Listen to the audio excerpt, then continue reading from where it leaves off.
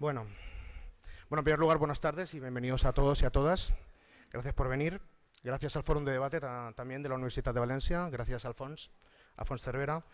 Y gracias a, ya lo adelanto antes de presentarlo, a Carlos Taibo.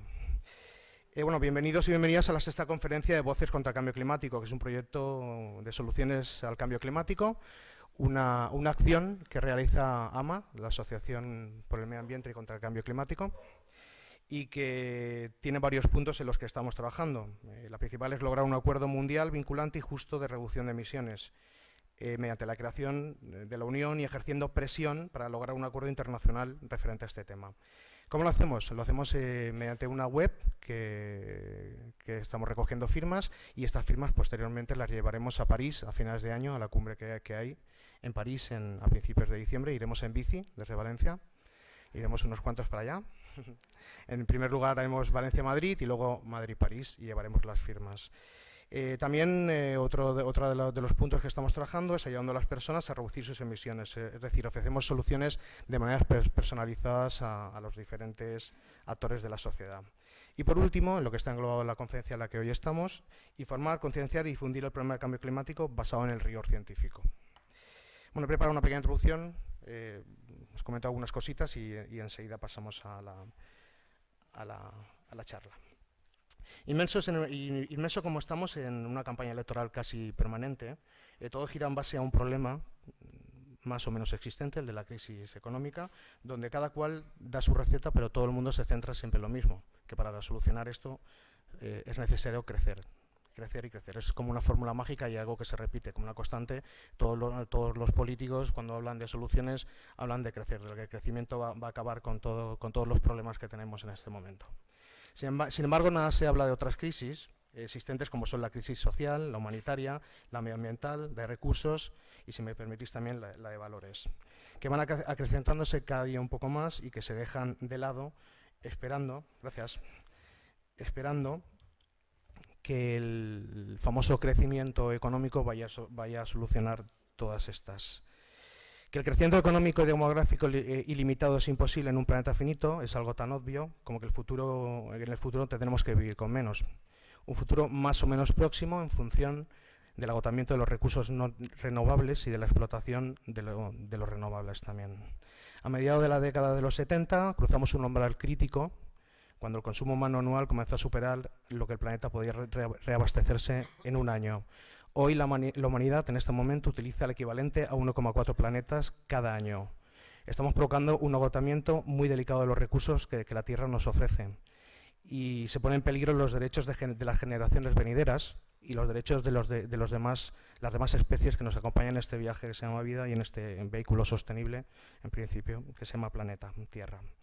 Las propuestas de decrecimiento apuntan a, dos, hechos, fundamentales. No somos necesariamente más felices al calor del crecimiento económico y, por otra parte, en el norte opulento donde vivimos debemos reducir los niveles de producción y de consumo. Pero tenemos que hacer otras muchas cosas, recuperar la vida social que hemos ido perdiendo, apostar por, por formas de ocio alternativo, repartir el trabajo, reducir el tamaño de muchas de las infraestructuras que mal, que mal utilizamos, restaurar la vida local que hemos ido dejando morir y en el plano personal asumir estrategias de sobriedad y sencillez voluntarias. Eh, cuando me propusieron hace unos días el, que, o me dijeron que tenía que, presentar eh, este acto, me, solo me, pusieron una condición, aunque realmente había dos más que estaban en el aire, aunque no me las dijeran. Una era, la que me dijeron, era que fuera puntual, porque la puntualidad no es una de mis virtudes, lo he sido. Otra que sin decírmelo estaba en el aire, era que llevara pantalón largo, porque el tema lo, lo requería, me lo he puesto. Y, y la tercera, que tampoco me lo habían dicho, pero que también estaba... Eh, es verdad, es verdad, lo llevo yo. Y la tercera, que, era, que tampoco me lo dijeron, pero también estaba en el aire, era que no me enrollara mucho y también la voy a cumplir. Así que ya no me dilato más y presento al profesor Carlos Taibo, profesor de Ciencias, eh, Ciencias Políticas y de la Administración de la Universidad Autónoma de, de Madrid pensador libertario, como pone aquí detrás, y un autor que bueno, ha escrito 40 libros, eh, múltiples artículos y que bueno, de alguna manera todos todo el mundo le seguimos. Si me permite decirlo, también eh, un referente moral, o al menos eh, una persona a la que hay que escuchar y seguir muy de cerca para comprender un poco esta época extraña en la que nos ha tocado vivir. Así que aquí empezamos cuando quieras.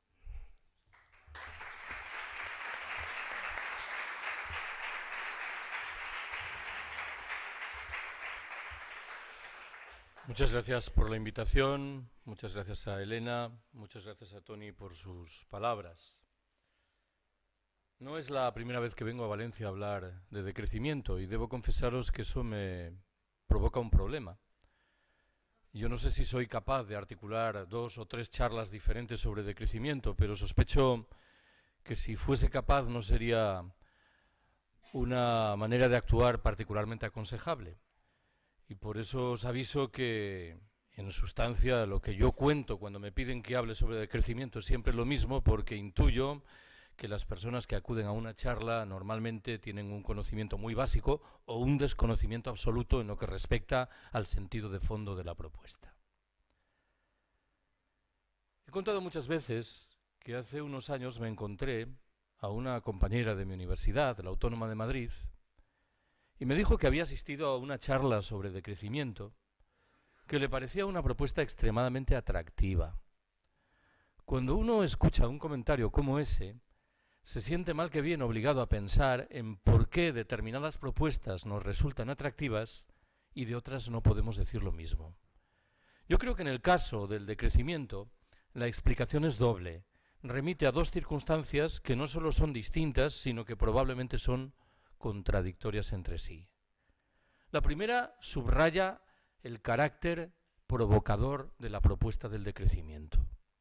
Si el discurso dominante, lo ha señalado hace un momento Tony, repite incansable que resolveremos de manera casi mágica todos o casi todos nuestros problemas, si recuperamos el camino del crecimiento, nosotros estamos diciendo lo contrario.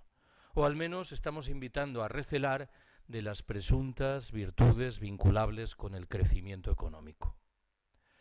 La segunda de las explicaciones discurre por un camino diferente y subraya que siendo provocadora la propuesta del decrecimiento, toca, sin embargo, fibras sensibles que todos llevamos dentro de la cabeza, de tal manera que en modo alguno es ajena a nuestra percepción más elemental de hechos básicos. Parto de la firme convicción de que cuando dentro de un par de horas abandonéis esta aula magna, convendréis conmigo en que la perspectiva del decrecimiento ha aparecido con mucha frecuencia en vuestra cabeza, de manera espontánea, a la hora de juzgar hechos políticos, económicos, sociales o ecológicos elementales. Bueno, dicho esto, entro ahora sí en materia. ¿Cuál es la primera observación que quiero haceros? En la visión dominante, en nuestras sociedades, el crecimiento económico es, digámoslo así, una bendición de Dios. Lo que se nos viene a contar es que allí donde hay crecimiento económico hay también cohesión social, servicios públicos razonablemente asentados, niveles altos de consumo. La pobreza, la desigualdad, el desempleo, en fin, no ganan terreno.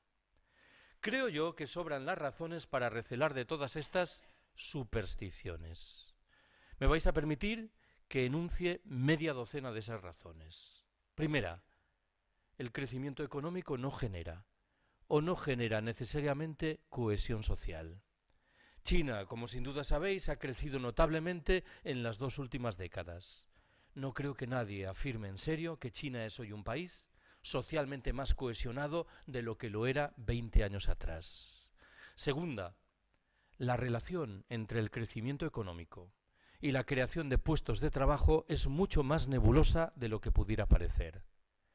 Las economías capitalistas desarrolladas han crecido notablemente en el transcurso de los 30 últimos años, una etapa cronológica en la cual han procedido a destruir numéricamente, objetivamente, puestos de trabajo.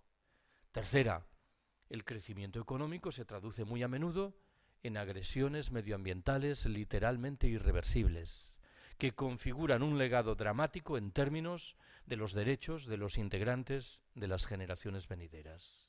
Cuarta, en paralelo con lo anterior, el crecimiento económico propicia el agotamiento de recursos básicos que sabemos no van a estar a disposición de los integrantes de esas futuras generaciones que acabo de mencionar. Quinta, el crecimiento económico de los países ricos bebe en un grado u otro del expolio de los recursos humanos y materiales de los países pobres, algo que debiera configurar, que menos, un problema moral para todos nosotros. Sexta y última de las razones. Hay muchos analistas que consideran que el crecimiento económico propicia el asentamiento de lo que llaman un modo de vida esclavo, en virtud del cual tendemos a pensar que seremos más felices cuantas más horas trabajemos, más dinero ganemos y sobre todo más bienes acertemos a consumir. Por detrás de este modo de vida esclavo hay como poco tres grandes pilares. El primero de ellos se llama publicidad.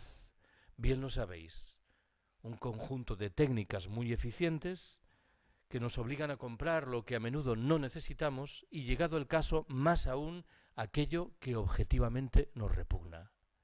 El segundo de los pilares es, o era, el crédito, que permite o permitía que obtuviésemos los recursos necesarios para adquirir eso que no precisamos. El cuarto y último pilar es, en fin, la caducidad.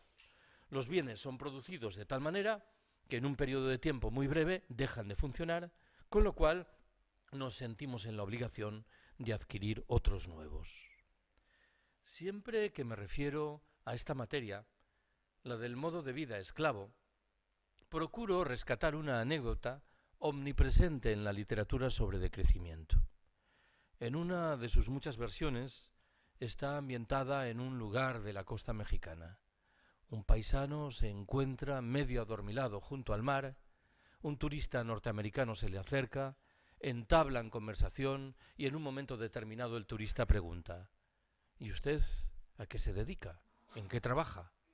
Yo soy pescador. Caramba, un trabajo muy duro. Trabajará usted muchas horas cada jornada, ¿verdad? Bastantes horas. ¿Cuántas horas trabaja como media cada día?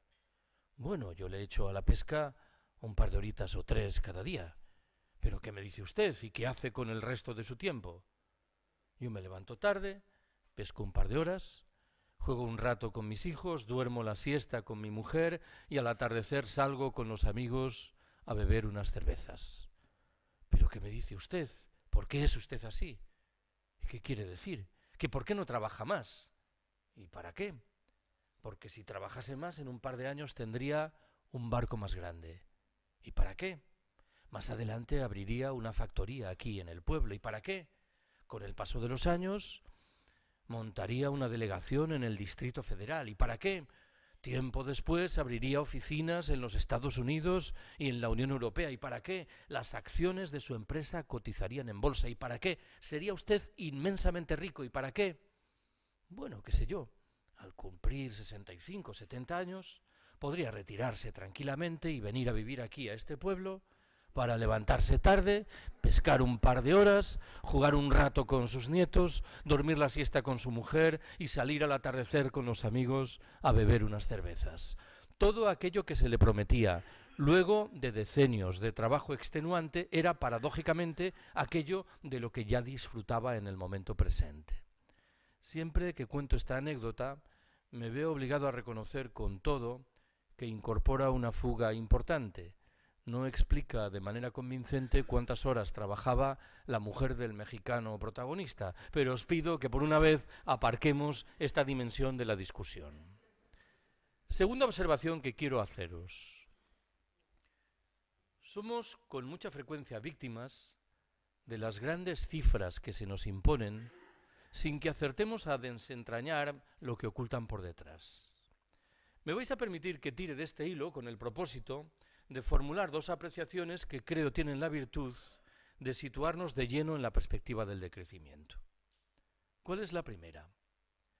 El gasto sanitario anual per cápita en Cuba en el año 2005 fue de 236 dólares.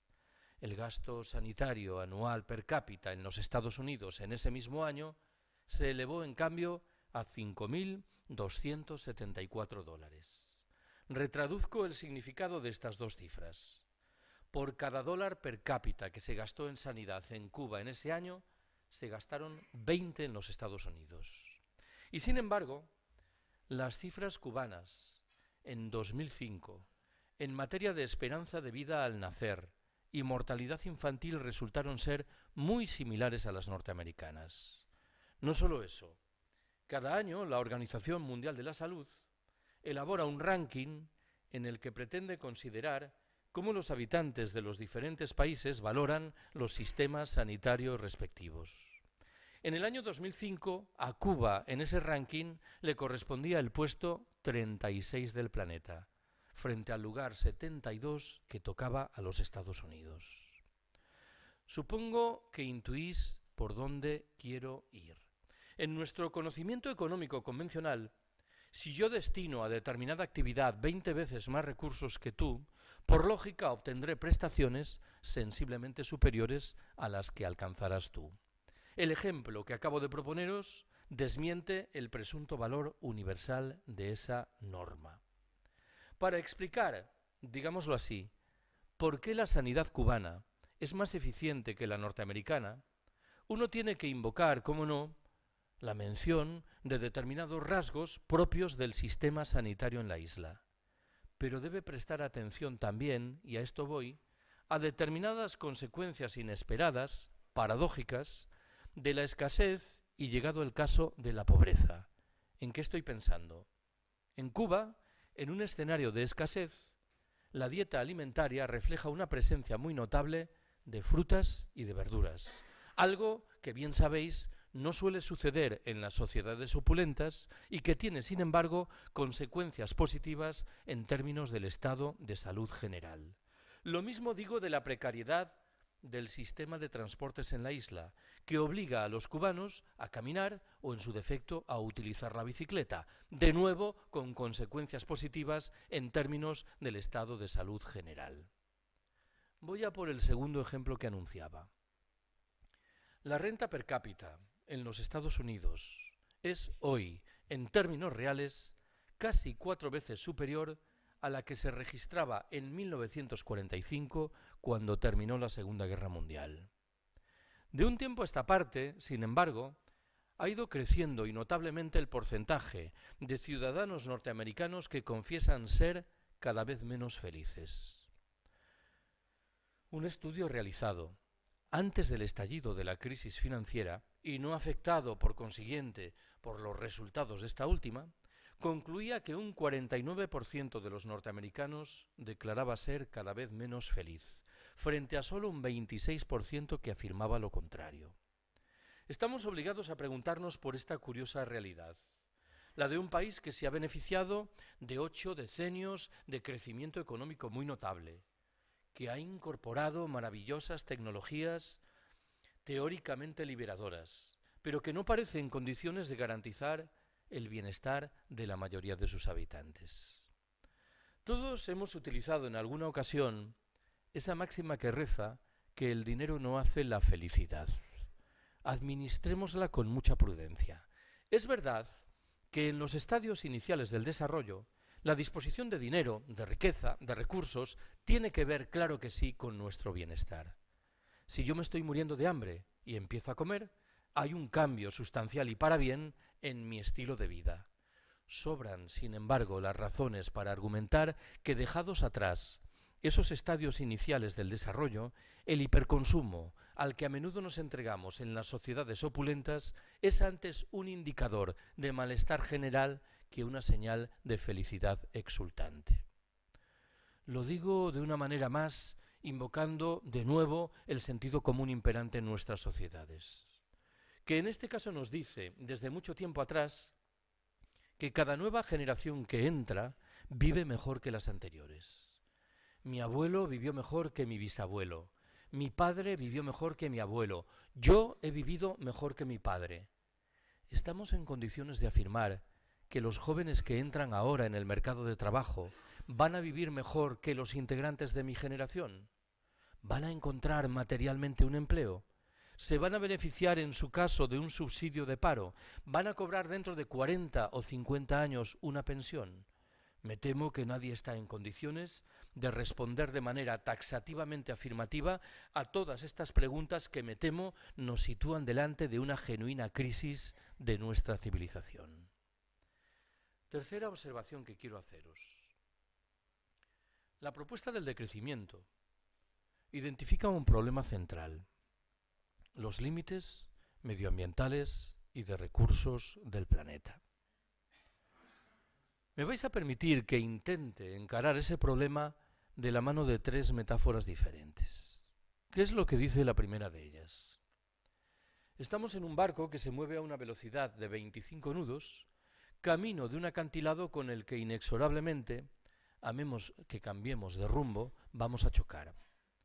¿Qué es lo que hemos hecho en los últimos años al calor, por ejemplo, del protocolo de Kioto? Hemos reducido un poco la velocidad del barco. Ya no nos movemos a 25 nudos, sino a 23. ¿Cuál es la consecuencia principal de este cambio? Si el pronóstico inicial sugería que tardaríamos 50 días en chocar con el acantilado, hoy sabemos que tardaremos 53. No parece que sea de mucho consuelo. El problema principal, que es el rumbo del barco, el crecimiento, seguimos sin encararlo. ¿Cuál es la segunda de las metáforas? Bebe de la condición del barco tal vez más conocido de la historia, el Titanic. ¿Por qué murió tanta gente a bordo del Titanic? Por una razón fácil de identificar. Los botes salvavidas no permitían acoger a tantos seres humanos como estaban dentro del barco. Esto, en términos claros de la metáfora, tenía remedio, tenía solución. La respuesta es sí. El remedio pasaba por desmantelar los camarotes de lujo del Titanic y utilizar la madera para construir nuevos botes salvavidas. Permitidme que en este caso subraye lo que entiendo que está implícito en la metáfora. El discurso dominante, otra vez el discurso dominante nos dice que debemos afrontar la resolución de todos los problemas de tal manera que nadie pierda. Esta es una genuina estafa moral. Quienes nos han situado al borde del precipicio económico, social y ecológico, por razón tienen que perder. ¿Qué dice la tercera y última de las metáforas? Imaginaos un lago en el que hay un nenúfar. Sabemos que el nenúfar se multiplica al ritmo de dos por uno cada día. Si el lunes hay un nenúfar, el martes habrá dos. Sabemos también que conforme a ese ritmo de multiplicación, el lago estará repleto de nenúfares al cabo de 20 días, con lo cual las plantas, carentes de espacio vital, perecerán. Si yo ahora os preguntase, ¿en cuál de esos 20 días pensáis que el lago estará cubierto en su mitad por nenúfares? Un procedimiento de razonamiento rápido y espontáneo tal vez aconseje responder el día 10. No es, lo veréis inmediatamente, la respuesta correcta. La respuesta correcta es el día 19.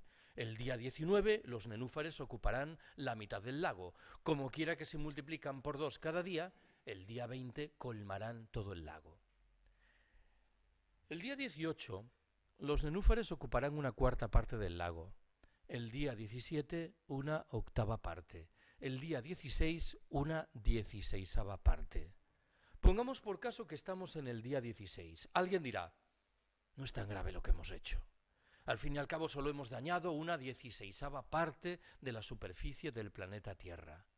Alguien replicará, me temo, con mejor criterio y dirá, hemos puesto en marcha un proceso endiabladamente rápido, de tal manera que nos quedan solo cuatro días, y de tal manera, por añadidura, que cuanto más demoremos nuestra intervención, mayores recursos, energías y esfuerzos serán necesarios.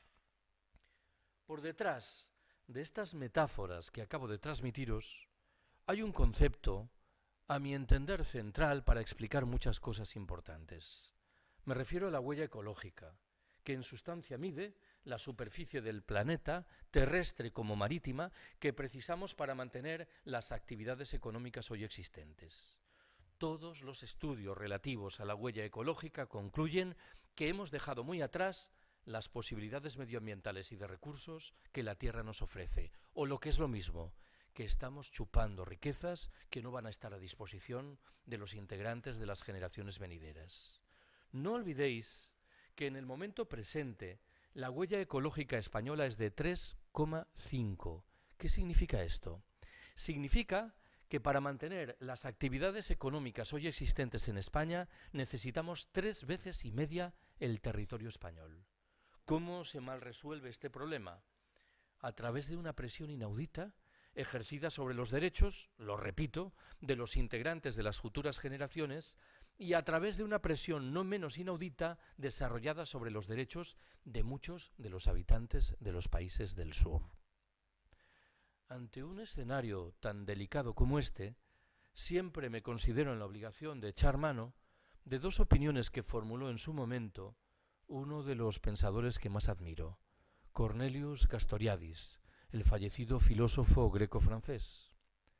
Hace tal vez veinte años, Castoriadis confesó que le producía mitad fascinación, mitad indignación comprobar cómo las personas que entre nosotros reclaman reformas políticas, económicas y sociales radicales son inmediatamente descalificadas como si se tratase de soñadores incorregibles. En tanto en cuanto y en cambio, de manera sorprendente, nuestros responsables políticos se nos presentan como personas ecuánimes que tienen respuestas objetivas a todos los problemas importantes. Castoriadis agregó, segunda de sus observaciones, que ante un escenario tan delicado como este, deberíamos actuar como lo haría lo que llamaba, utilizando una expresión latina, el pater familias diligens, el padre de familia diligente.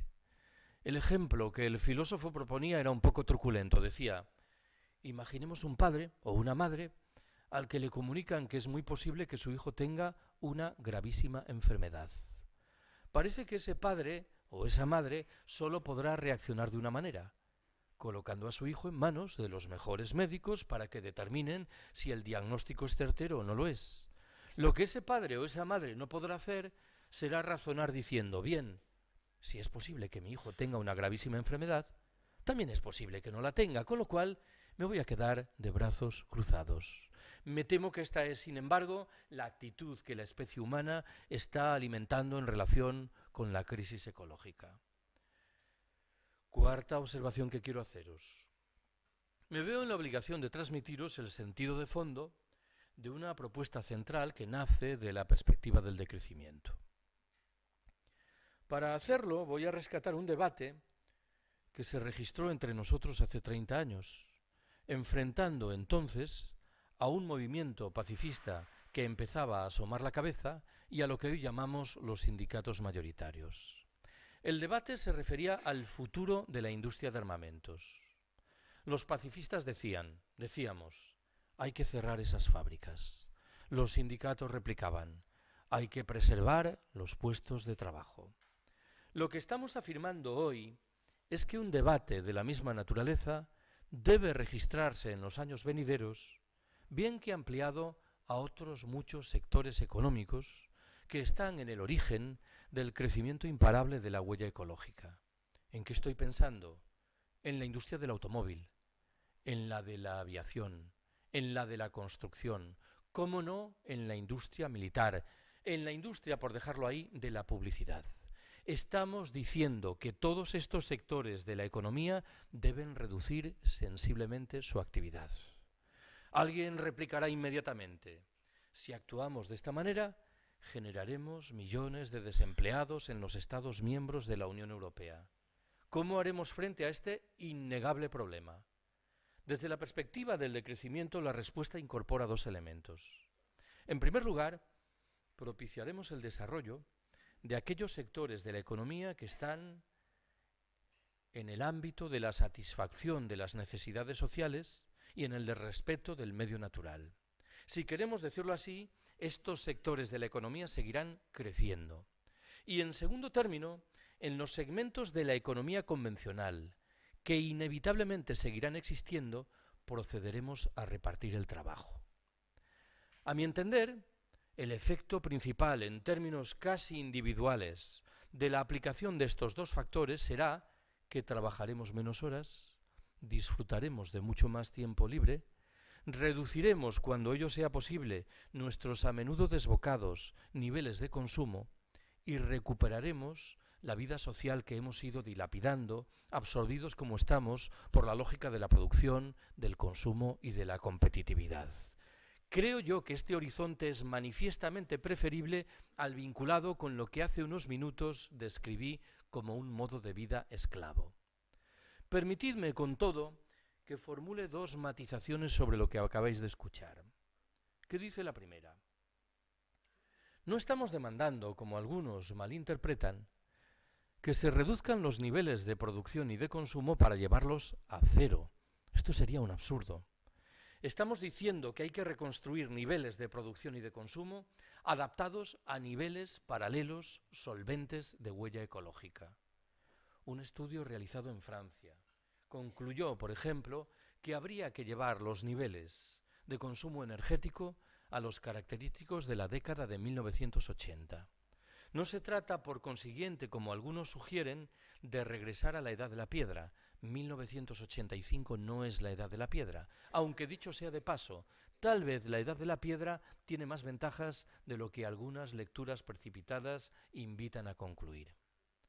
Formulo la segunda matización que anunciaba. Me interesa muy mucho subrayar que la perspectiva del decrecimiento no tiene un cariz triste y sombrío. Nos dice que podemos vivir mejor con menos. La principal página francesa por el decrecimiento se titula, o se titulaba, ya no lo sé, Página por la alegría de vivir. Ya sé que suena un poco a autoayuda, pero me parece que retrata bien lo que quiero decir. El referente mental del decrecimiento no lo aportan unos lamas que viven aislados en un monasterio en una cima del Himalaya, por respetable que pueda ser esta opción. Si alguien se pregunta, por ejemplo, qué es lo que los principales teóricos del decrecimiento reivindican en materia de intercambio sexual, reclaman, valga la paradoja, un incremento sustancial de las relaciones correspondientes, que justifican sobre la base de la idea de que debemos recuperar la vida social que hemos ido dilapidando, absorbidos como estamos por la lógica de la producción, del consumo y de la competitividad. Últimamente he olvidado una anécdota que solía mencionar cuando hablaba de esto, pero hoy me viene a la memoria y de manera muy clara. Hace acaso tres años me invitaron a hablar sobre decrecimiento en la Asamblea Popular del 15M en el Escorial, en Madrid. Y recuerdo que dije esto del intercambio sexual y al final de la charla se me acercó un varón de unos 40 años de edad y me dijo, hay algo que has contado, Carlos, que me ha gustado muchísimo. Anda, ¿y qué es? Eso de que tenemos que follar más y mejor. Hombre, yo no lo he dicho exactamente así. ¿No te importará, verdad, que te dé un consejo, Carlos? Dice, no, no, dímelo, dímelo. Dilo de follar al principio de la charla y luego sueltas todo ese rollo de la autogestión y de la democracia directa. Quinta observación que quiero haceros. Se ha referido a ello Tony en la presentación. La propuesta del decrecimiento no se agota en la reivindicación de la necesidad de reducir los niveles de producción y de consumo en los países ricos del norte opulento. Reclama antes bien la introducción de principios y valores muy diferentes de los que hoy aplicamos. Si tengo que retratarlos telegráficamente, ahí van. Primero, lo he mencionado un par de veces, la recuperación de la vida social que hemos ido dilapidando, obsesionados como estamos por la lógica del consumo.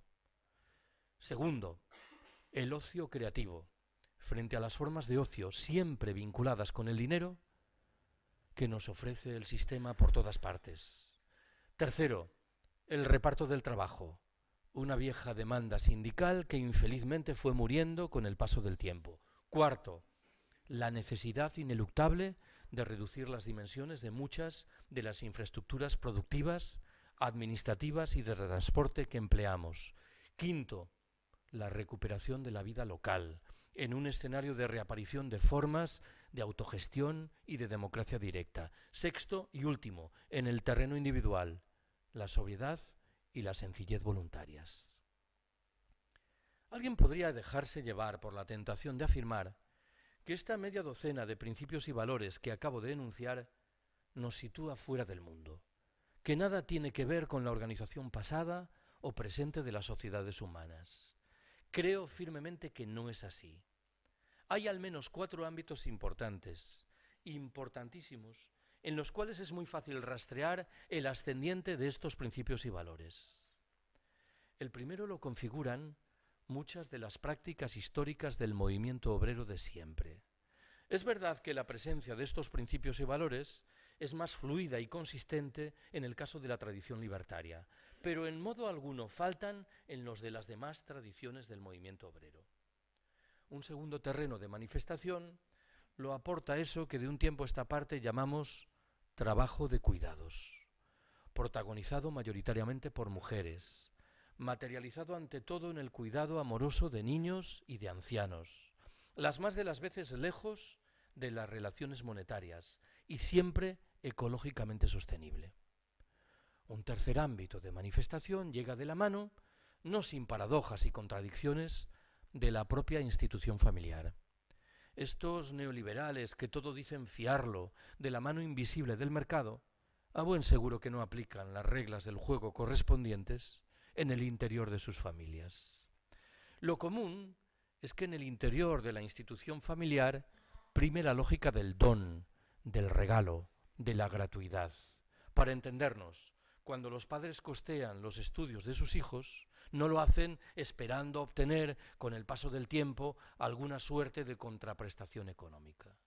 Rescato un cuarto y último terreno de manifestación de esos principios y valores, el que aportan por igual muchos de los elementos de sabiduría popular de nuestros campesinos viejos y muchas de las prácticas cotidianas de esos habitantes de los países del sur que nos empeñamos en descalificar como si fuesen primitivos y atrasados. La historia está ambientada en un lugar lejano de la Amazonia brasileña. Unos misioneros se adentran en esa región y se topan con unos indios que se dedican a cortar leña con instrumentos extremadamente primitivos. Los misioneros deciden hacer un esfuerzo y regalan a los indios unos cuchillos de acero inoxidable de fabricación norteamericana. Un par de años después, los mismos misioneros regresan a la misma región, se encuentran de nuevo con los indios y uno de los primeros pregunta, ¿Y los cuchillos qué tal? Muy bien, responde uno de los indios. Tardamos ahora diez veces menos tiempo que antes en cortar la leña. Estupendo, tercia el misionero. Supongo entonces que estaréis produciendo diez veces más leña que antes. El indio responde perplejo, No, señor, seguimos produciendo la misma cantidad de leña que antes, solo que ahora disfrutamos de diez veces más tiempo libre, que es lo que sabemos guarda relación con nuestro bienestar, con nuestra felicidad. Me temo que este chip mental se ha desvanecido en nuestras cabezas de habitantes de las sociedades opulentas. Sexta observación que quiero haceros. Procuro siempre aterrizar con alguno de los conceptos que acabo de manejar de la mano de debates más o menos vivos entre nosotros. Me voy a referir hoy a tres de esos debates. ¿Cuál es el primero? Yo tengo que reconocer que no soy una persona particularmente consecuente, pero creo que arrastro algunas virtudes que nacen de mis carencias y una de mis muchas carencias es que no sé conducir. Y en esas condiciones, después de reflexionarlo mucho, al percatarme de que no sabía conducir, llegué a la conclusión de que casi era preferible no tener coche. Bueno, alguien se preguntará, en la ciudad en la que vivo, Madrid, si echo de menos disponer de un automóvil. La respuesta fácil y rotunda es no. Veamos las cosas con un poco de detalle. Yo vivo en Vallecas, que supongo sabéis es un populoso barrio situado al sureste de la capital. Desde el portal de mi casa hasta un apeadero de la Renfe de cercanías hay cuatro minutos caminando. Por término medio tardo en llegar unos 50 minutos desde ese portal en tren a mi despacho situado en la Universidad Autónoma de Madrid, emplazada al norte de la capital. ¿Qué ocurriría si dispusiese de un automóvil? Es verdad que muchos días llegaría antes. Tardaría, qué sé yo, 25, 30, 40 minutos. Pero no es menos cierto, primer problema, que otros días no sabría a qué hora llegaba. Bien podéis intuir por qué. Si me veo inmerso en uno de los gigantescos atascos comunes en las grandes ciudades, y resulta que tengo clase a las ocho y media de la mañana y hay 40 o 60 alumnos esperándome, mal negocio es el que me invita a llegar tarde 40 minutos.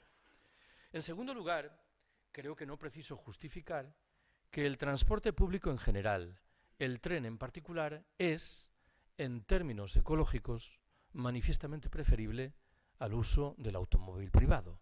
Tanto más cuanto que lo común es que éste vaya ocupado por una única persona. En tercer término, el tren me resulta inconmensurablemente más barato. La literatura sobre decrecimiento está llena de exhortaciones dirigidas a las personas que disponen de un automóvil y encaminadas a que calculen cuál es el porcentaje de las horas que trabajan que tienen que destinar para mantener el automóvil. ¿Qué significa mantener el automóvil? Significa comprarlo, pagar los impuestos, las reparaciones, los seguros, la gasolina. ¿Cuántas horas de libertad efectiva permite el automóvil y cuántas horas de trabajo esclavo previo son precisas para mantenerlo? A menudo el cálculo es desolador. En cuarto término, yo en el tren puedo ir leyendo, algo que hasta donde llega mi conocimiento no debe hacer quien va conduciendo un coche.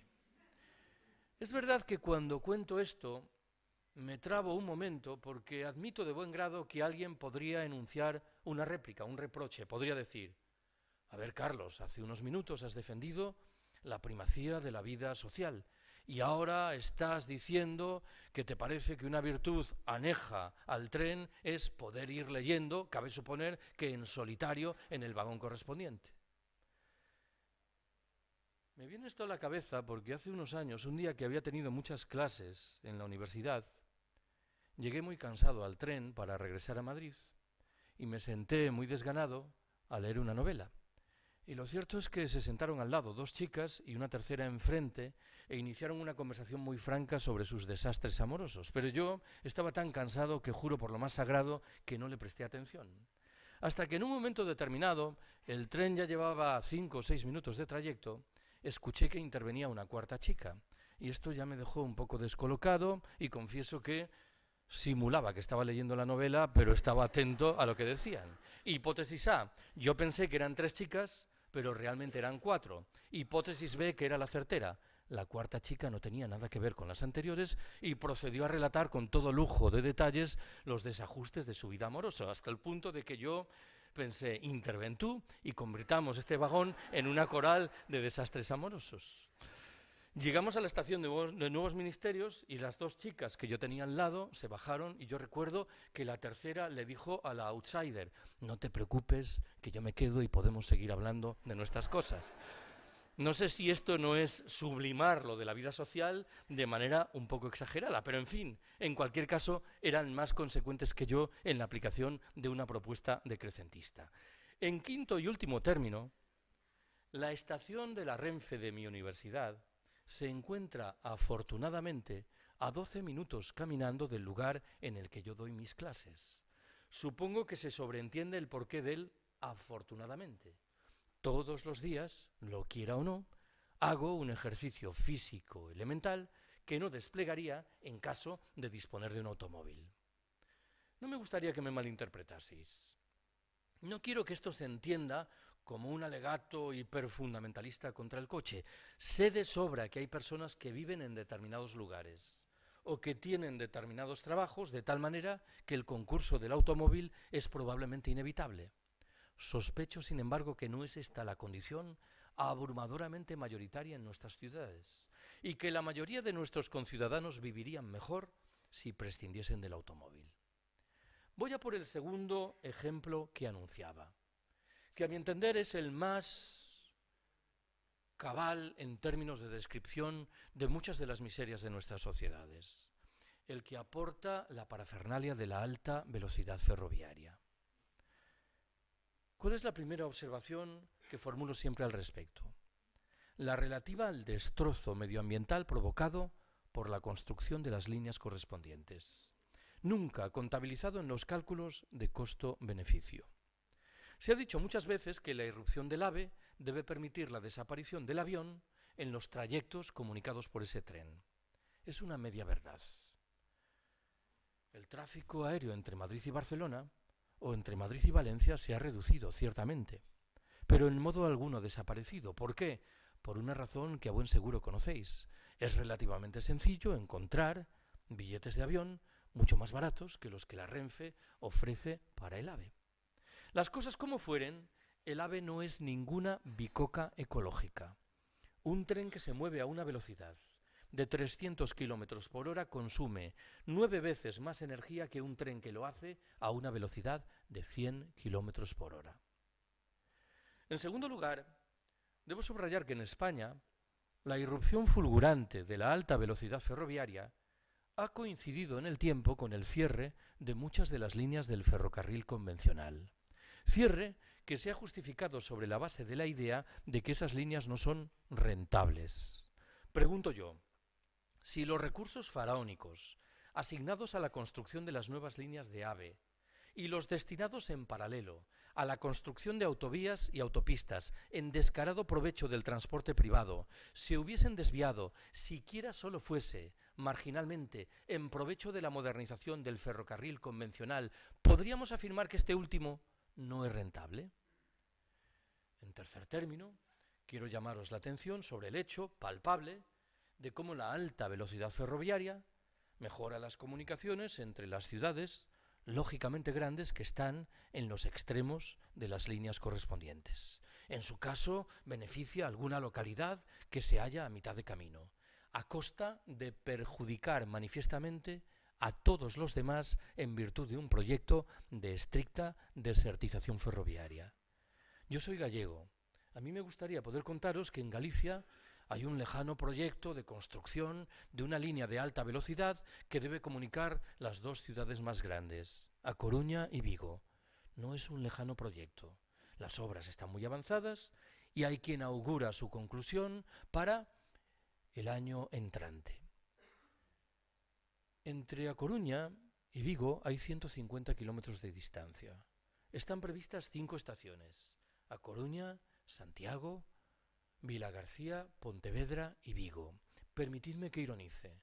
Estoy imaginando acelerando al tren de alta velocidad, acelerando en la salida de la estación de Vila García de Arousa para frenar inmediatamente y entrar en la de Pontevedra a 20 kilómetros de distancia. Para cuestionar esto no hace falta ser ingeniero. Estos trenes adquieren velocidades notables cuando hay distancias respetables entre los núcleos de población que comunican. No era esto, sin embargo, lo que quería subrayar ahora.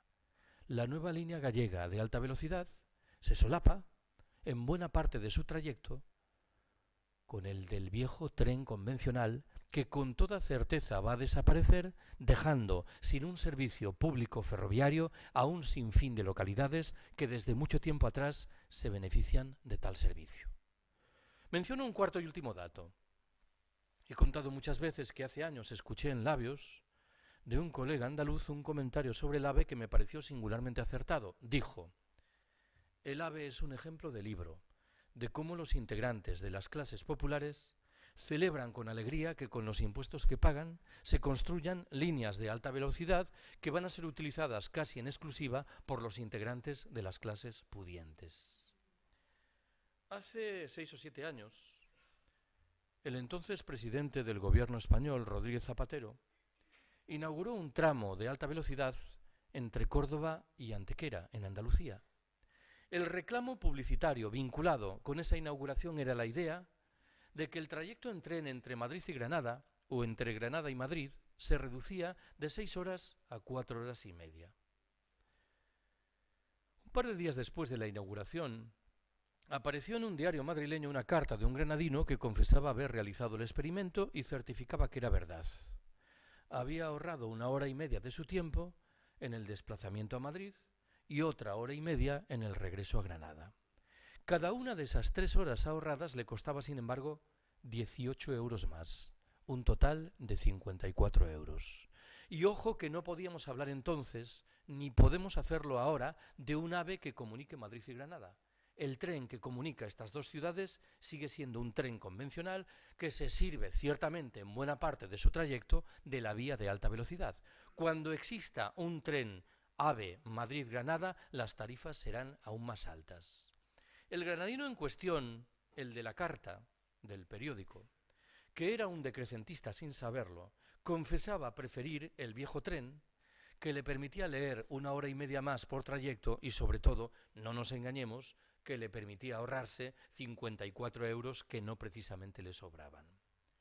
Hace menos tiempo, en el otoño de 2010, mi paisano, el señor Blanco, entonces ministro español de Fomento, convocó en Madrid una rueda de prensa para promocionar la nueva línea de alta velocidad que debía comunicar, lo hace ya, como sin duda sabéis, Madrid y Valencia.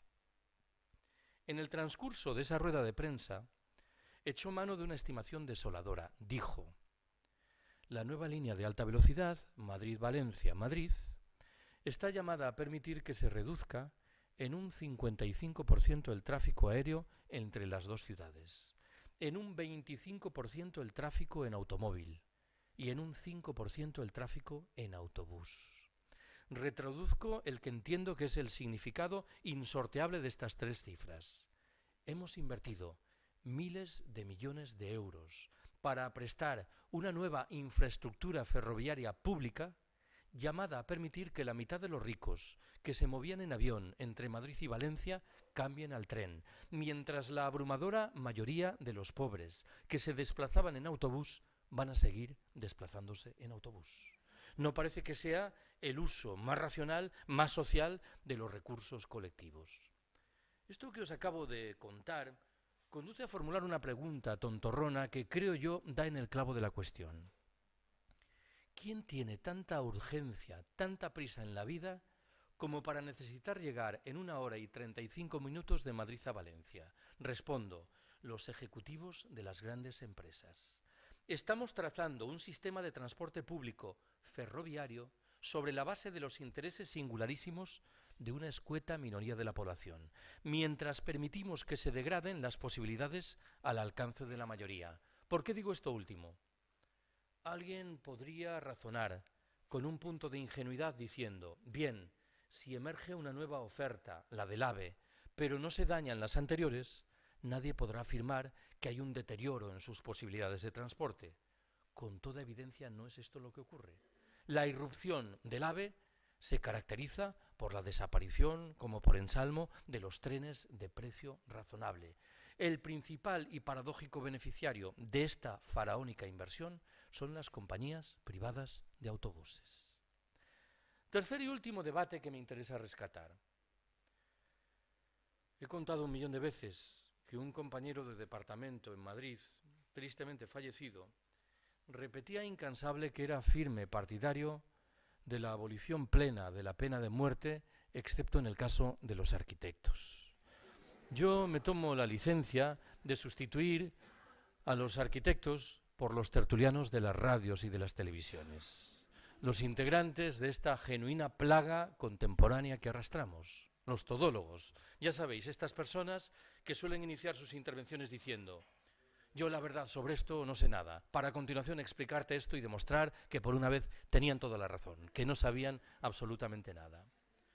Hace tres o cuatro años, contemplando una tertulia de televisión, observé atónito como uno de los todólogos al uso, persona de argumentos siempre civilinos y siempre serviles con los poderosos, aquel día parecía sembrado.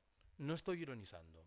Realizó lo que a mi entender era una reflexión extremadamente lúcida y puntillosa relativa al delicado panorama energético que se nos echa encima en virtud del agotamiento de muchas de las materias primas que empleamos. Cuando terminó su intervención comprendí lo que ocurría. Ese análisis tan serio, tan lúcido, tan puntilloso, si alguien quiere agregar este adjetivo tan alarmista, obedecía al propósito expreso de subrayar que sólo existía una salida, la energía nuclear. Este buen señor había comido la víspera con un responsable de prensa de una de las empresas del sector atómico que le había explicado qué es lo que tenía que argumentar para justificar la conclusión de que nuestra única tabla de salvación era la energía nuclear. Conviene que no nos dejemos engañar al respecto. Los pronósticos al uso sugieren que en el planeta hay uranio para 40 o 45 años. Pero quienes quieren convertir la energía nuclear en nuestra tabla de salvación afirman que hay que multiplicar al menos por tres el número de centrales atómicas hoy existente. El cálculo aritmético es sencillo. Tendremos uranio para 12 o 15 años. Nadie sabe qué hacer con los residuos generados por las centrales. La construcción de estas, de los edificios, es muy onerosa en términos de cambio climático. La energía producida resulta universalmente cara y reclama las más de las veces de subvenciones de ayudas públicas. Por no hablar de los problemas de seguridad de las centrales, un debate, bien lo sabéis, aireado por el accidente japonés de hace cuatro años. Meses atrás tuve la oportunidad de contemplar una entrevista que Iñaki Gabilondo realizaba a esta estimulante figura intelectual que es el expresidente del gobierno español, Felipe González. Y le preguntaba por esto que tengo ahora entre manos, el delicado panorama energético que se nos echa encima. González respondió que para afrontar ese panorama había que asumir tres grandes medidas. Una, desplegar energías limpias y renovables. Dos, diversificar las fuentes de suministro. Y tres, creo que cito literalmente, reabrir mesuradamente el debate relativo a la energía nuclear. No me interesa ahora glosar lo que González dijo, sino llamaros la atención sobre aquello que significativamente no dijo. ¿Y qué fue lo que significativamente no dijo? Que en un escenario de escasez y de penuria, la primera tarea consiste inexorablemente en reducir nuestros niveles de consumo energético. ¿Por qué González no dijo, en primer lugar, lo primero que debía decir? Bueno, no voy a descartar por completo la posibilidad de que tuviese una mala tarde, le puede pasar a cualquiera. Pero creo que el problema era más de fondo. Bien sabéis que González ha trabajado durante muchos años y ha cobrado muy bien de una poderosa empresa del sector eléctrico. Su silencio era un silencio doloso, culpable. Estaba defendiendo los intereses de la empresa que le pagaba. Para hacer frente al delicado panorama energético que se nos echa encima, tenemos que desplegar simultáneamente dos grandes medidas. La primera es, ciertamente, la primera de las invocadas por González. Energías limpias y renovables, pero nunca al servicio de nuestro estilo de vida derrochador y despilfarrador, entre otras razones por una muy prosaica. No dan para eso. La segunda de las grandes medidas pasa inexorablemente por reducir que podemos hacerlo de manera sencilla nuestros niveles de consumo energético. Séptima y última observación que quiero haceros. Hace unos meses, en febrero en marzo, estuve aquí en Valencia para intentar explicar por qué desde mi punto de vista las ideas libertarias son más actuales que nunca. Me vais a permitir que recoja un trecho de esa charla que creo encaja bien en una disquisición sobre el decrecimiento.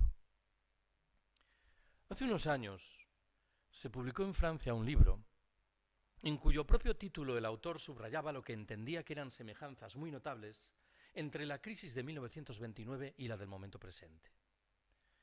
A buen seguro que este ensayista francés, cuando echaba mano de esa comparación, en modo alguno deseaba transmitirnos un mensaje tranquilizador. No olvidéis que la crisis de 1929 estuvo en el origen del asentamiento de los fascismos en la Europa de la década siguiente. Estuvo en el origen, si así lo queremos, de la propia Segunda Guerra Mundial. Yo tengo, sin embargo, la impresión de que la comparación queda un tanto coja. ¿Por qué?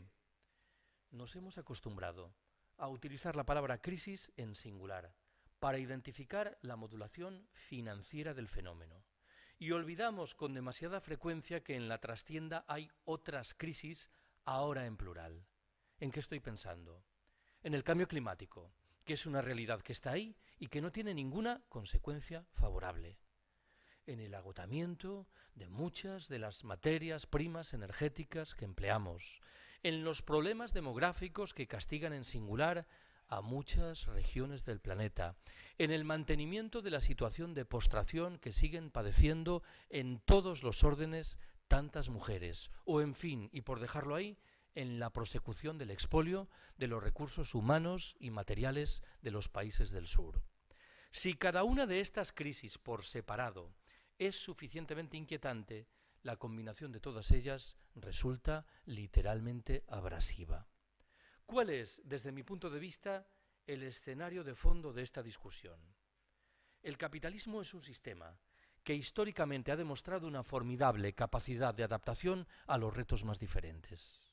La gran pregunta hoy es la relativa a si no está perdiendo rápida y dramáticamente los mecanismos de freno que en el pasado le permitieron salvar la cara. Si llevado de un impulso, al parecer incontenible, encaminado a acumular espectaculares beneficios en un periodo de tiempo muy breve, no estará acabando su propia tumba. Con el agravante, cierto es, de que dentro de la tumba estamos nosotros y puede desmoronarse sobre nuestras cabezas. Lo digo de otra manera. Uno puede y debe criticar agriamente al capitalismo por haber sido de siempre un sistema injusto, explotador y excluyente, pero reconozcamos que al mismo tiempo ha sido un sistema razonablemente eficiente. ¿En qué sentido? En el sentido de que ha permitido garantizar durante mucho tiempo que la mayoría de los empresarios obtuviesen los beneficios que deseaban alcanzar. Hoy ni siquiera esto es evidente. Estos neoliberales, que durante tres décadas han rechazado orgullosamente todo tipo de intervención de los poderes públicos en la economía, ¿qué es lo primero que han hecho cuando las cosas han venido mal dadas? Utilizar el teléfono para pedir las ayudas preceptivas de ministerios, consejerías o ayuntamientos. ¿Qué mejor indicador de pérdida de eficacia? La propia imprevisión con la que el capitalismo obsequia a la crisis ecológica creo que nos sitúa delante de la conclusión de que el sistema se adentra a marchas forzadas en una etapa de corrosión terminal. No olvidéis que hay un consenso abrumador en el seno de la comunidad científica internacional en lo que hace a la idea de que es inevitable que la temperatura del planeta suba al menos dos grados por encima de los niveles propios del año 1990. Una vez que alcancemos ese momento, nadie sabe lo que viene después. El consenso no es tan abrumador, pero es en cualquier caso muy amplio en lo que se refiere a la tesis de que el llamado pico del petróleo ha quedado ya atrás, con lo cual será inevitable que la producción de esa materia prima se vaya reduciendo y que sus precios se vayan acrecentando. Hace unos meses alguien me preguntó en un acto público si pese a lo que acabo de decir no consideraba que nuestros gobernantes, los de ahora como los de antes de ayer, tienen alguna conciencia elemental en lo que respecta a los retos derivados de la crisis ecológica. Preferí responder echando mano de la ironía, recordando algo que a buen seguro recordaréis también la mayoría de vosotros.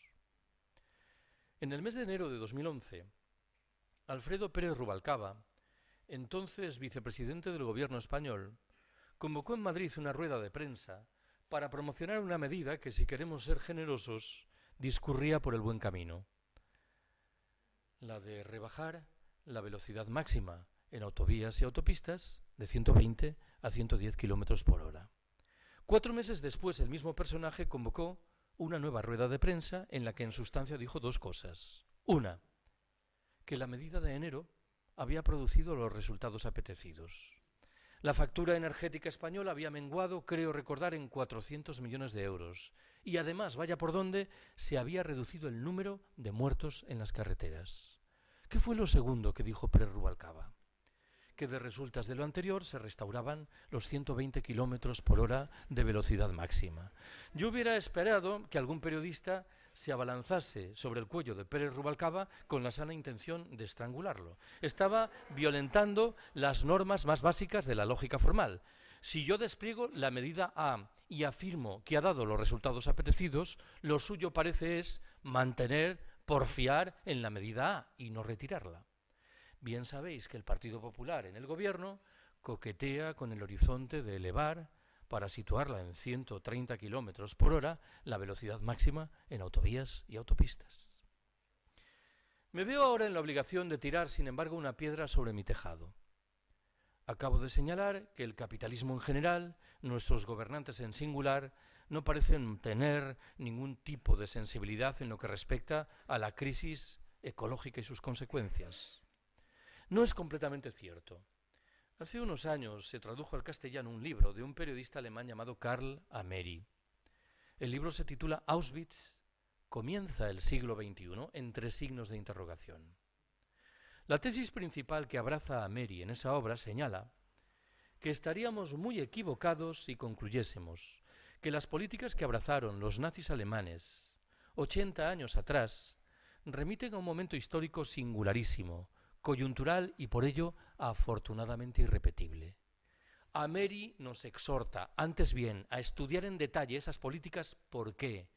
Porque bien pueden reaparecer en los años venideros, no defendidas ahora por ultramarginales grupos neonazis, sino postuladas por algunos de los principales centros de poder político y económico, cada vez más conscientes de la escasez general que se avecina y cada vez más firmemente decididos a preservar esos recursos escasos en unas pocas manos en virtud de un proyecto de ecofascismo, de darwinismo social militarizado. Creo yo que muchas de las políticas que aplican los sucesivos presidentes de los Estados Unidos hunden sus raíces en un proyecto de esta naturaleza como creo yo que muchas de las medidas que la Unión Europea despliega en relación con los inmigrantes pobres que llegan a nuestras costas y aeropuertos hunden de nuevo sus raíces en un proyecto de esta naturaleza. Hay una palabra que falta llamativamente del discurso de nuestros responsables políticos, también de los aparentemente alternativos e innovadores. Me refiero a la palabra colapso. Hace dos años, en 2013, se publicó un libro de un periodista, en este caso inglés, Michael Joker, con un título provocador, Historia de España, 2014-2033, Crónica de un colapso. Es un libro publicado en Reykjavik, la capital de Islandia, en el año 2034. Un manual de historia convencional, con cuadros estadísticos, fotografías y mapas, que analiza a mitad de camino entre un humor socarrón y un argumento serio, el colapso español, un colapso que atribuye a cuatro grandes circunstancias. El cambio climático, que ya empieza a pegar fuerte ante todo en la mitad meridional de la península ibérica, el encarecimiento inevitable de los precios del petróleo, una crisis social en la cual ya estamos claramente inmersos y, en fin, el despliegue de medidas visiblemente autoritarias que también tenemos la oportunidad de palpar. En los círculos en los que yo me muevo, lo del colapso suscita dos lecturas diferentes. La primera es crudamente realista y nos dice, no nos queda más remedio que aguardar a que llegue el momento del colapso. ¿Por qué? Porque será la única manera de que la abrumadora mayoría de nuestros conciudadanos tome nota de sus deberes. Esta primera perspectiva es sí crudamente realista, pero no nos engañemos, es profundamente desalentadora. El colapso se traducirá, por definición, en una multiplicación espectacular de los problemas y en una reducción paralela de nuestra posibilidad de afrontarlos. La segunda de las respuestas es la mía y tiene un cariz manifiestamente voluntarista en la medida en que disfruta de un apoyo social muy limitado. Nos dice, tenemos que salir con urgencia del capitalismo.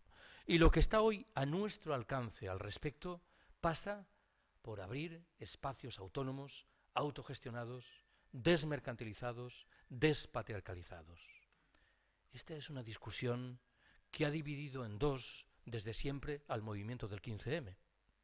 En el 15M ha habido de siempre un sector muy amplio que entendía que el cometido mayor del movimiento estribaba en elaborar propuestas en la confianza de que serían escuchadas por nuestros gobernantes.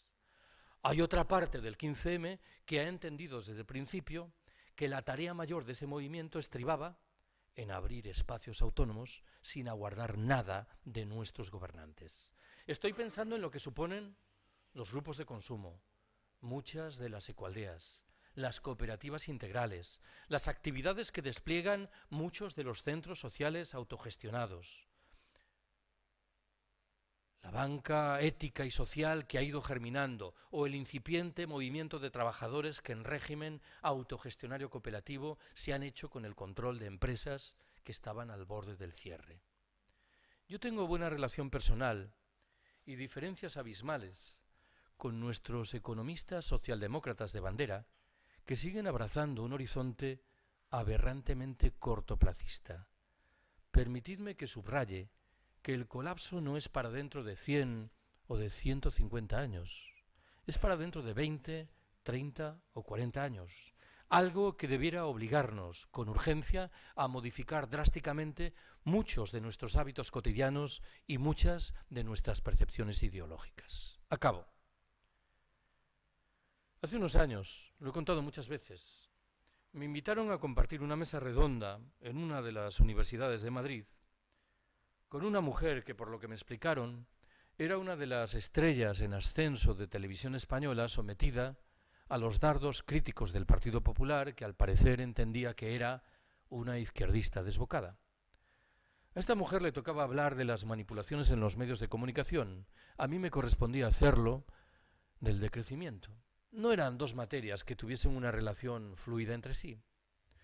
Lo cierto es que cuando llegó el debate, en un momento determinado enuncié una queja y dije, me parece llamativo que en esos programas matinales de televisión, de los diferentes canales, por los que en el transcurso de los últimos años han pasado centenares de políticos, de economistas, de sindicalistas, nadie haya tenido la oportunidad de discutir las presuntas virtudes atribuibles al crecimiento económico.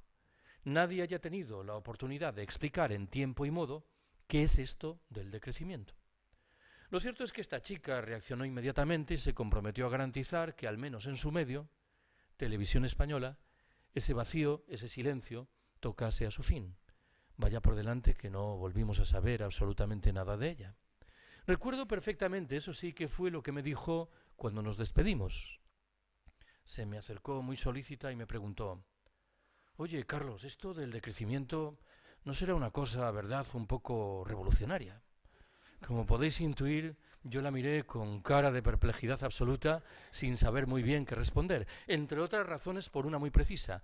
Tenía al alcance de la mano, esto sucede de vez en cuando, dos respuestas diametralmente diferentes entre sí, pero las dos perfectamente legítimas. La primera hubiera consistido en decir, pues mira, sí, ¿para qué te vamos a engañar?